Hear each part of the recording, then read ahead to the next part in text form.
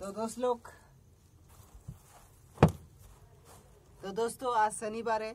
शनिवार को मैं हर दुकान दुकान में जाके नींबू लंका लगाता है और मन तो बोलता है, ओंग रिंग बगलम की सोहा, ओंग रिंग बगलम की सोहा।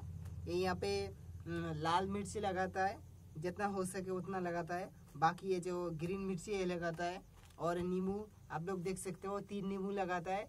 नींबू का बीच बीच में तीन तीन करके और लास्ट लास्ट में एक या तीन गो लगाता है। कोई कोई नौ मिर्ची, कोई कोई सात मिर्ची लगाता है, ठीक है?